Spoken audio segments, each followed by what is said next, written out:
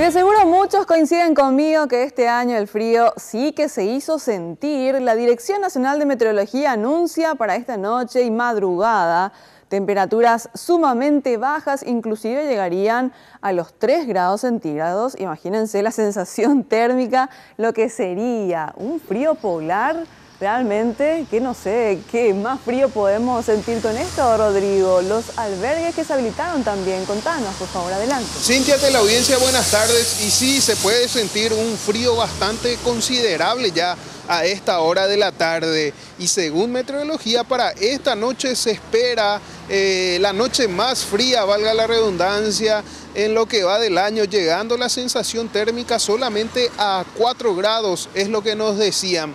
También fuimos hasta la Secretaría Nacional de Emergencia, donde nos comentaron que el refugio para gente que vive en la calle, eh, las personas más desprotegidas, eh, ya está habilitado en la zona sur de Fernando de la Mora con una capacidad para 28 personas y esto también pudiéndose ampliar según nos mencionaban en la Secretaría claro para esas personas que necesiten refugiarse de estos intensos fríos que, sufriremos, digo bien, entre hoy y mañana. Escuchemos lo que nos mencionaba justamente el ingeniero Miguel Curita sobre este tema. Y estamos brindándole todo el apoyo que ellos lo requieran. Estamos hablando de alimentación caliente, estamos hablando de, de, frazadas, sábanas, un techo, este, un baño, un servicio higiénico, todo lo que, todo lo que haga falta para para que estas personas puedan pasarla mejor. Toda la ciudadanía, cualquiera que ve este, a personas en situación de calle, nosotros acá estamos las 24 horas al, al 440, al 997, este, al 8.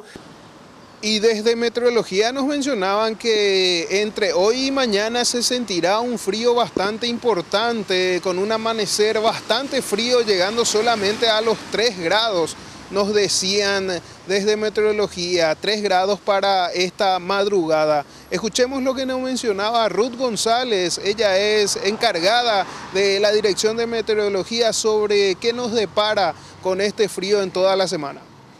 La sensación térmica va a ser bastante más baja, en torno a los 6 grados, debido a la lluvia y a los vientos del sur que estamos teniendo. Así que hoy es el día donde se va a sentir más el frío porque tendríamos un periodo más largo de frío. Con ello, en horas de la madrugada de mañana vamos a amanecer con 4 grados. Eso es debido a que vamos a tener disminución de la nubosidad.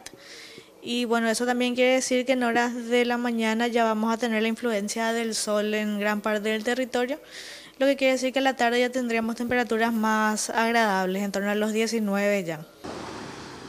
Y si bien Ruth nos recalcaba que a partir del jueves ya se sentiría un clima bastante más agradable, eh, para el viernes se espera nuevamente el ingreso de un frente frío y con inclusive eh, lluvias y tormentas eléctricas que afectarían a gran parte del país. Así es que a tener eh, listos nada más los abrigos entonces en estos días de mucho frío.